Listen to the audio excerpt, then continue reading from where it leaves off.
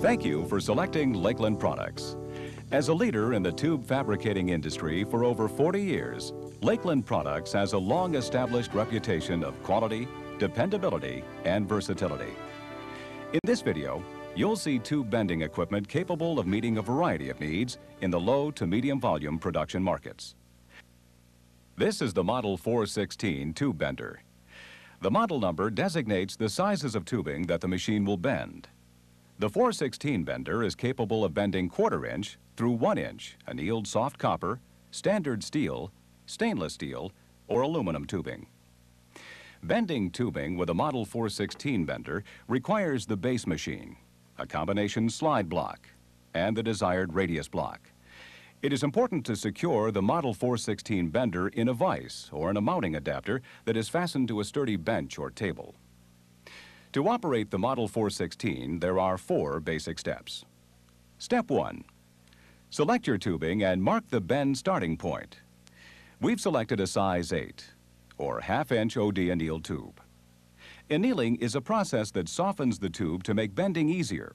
It also reduces the amount of springback after the bending process. Mark the tube where the bend is to start with a pencil or other marking pen. Do not cut into the tube surface in any way as this will form a weak spot in the tube. Step 2. Select the proper radius block. The radius block is determined by the tube OD and the desired bend radius. The bend radius is always measured from center line of the tube to the center line of the radius block. In this case, we're using an 8 by 2 or half inch tube that will bend to a 2 inch radius. The tube size and the bend radius are stamped on the top of each radius block for easy identification. Position the radius block on the bender by sliding the block over the center post pins so that the zero degree mark is toward the vise face and handle end of the bender.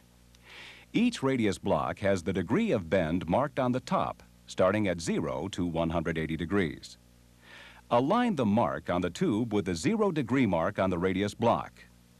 Engage the clamping mechanism and tighten the thumb screw securely.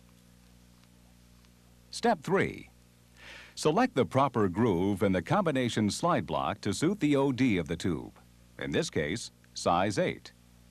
Each tube size is stamped on the end of the slide block. Place the slide block on the bender frame between the vise plate and the radius block. Align the number 8 groove in the combination slide block with the tubing and position the end of the slide block adjacent to the zero degree mark on the radius block. Turn the clamp nut clockwise to engage slide block and finger tighten only to allow the slide block to follow the tubing and support the OD of the tube during the bending. A film of grease on the tubing will help ease sliding. Turn the drive nut clockwise to engage the worm gear drive mechanism. Step 4. Begin to make the bend by attaching the bender wrench to the drive nut. Turn clockwise until the desired bend degree on the radius block is adjacent to the left side of the vise face.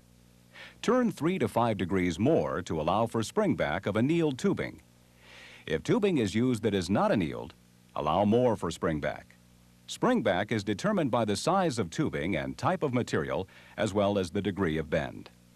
After the bend is complete, Place the wrench on the vise nut and turn counterclockwise until the vise face is far enough back to allow the slide block to be removed.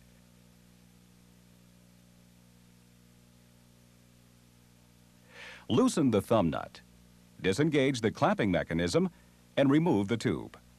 Turn the drive nut counterclockwise to disengage the worm drive and swing the drive gear and radius block back to the starting position. The 416 bender is now ready to bend another tube. In addition to Lakeland's 416 bender, a number of accessories is available to make tube bending even easier. A selection of mandrels, flared end radius blocks, a bender table, and a bend angle indexing gauge are readily available for use with all bender machines. For quality, dependability, and versatility, Lakeland Products is the right choice for your tube bending needs.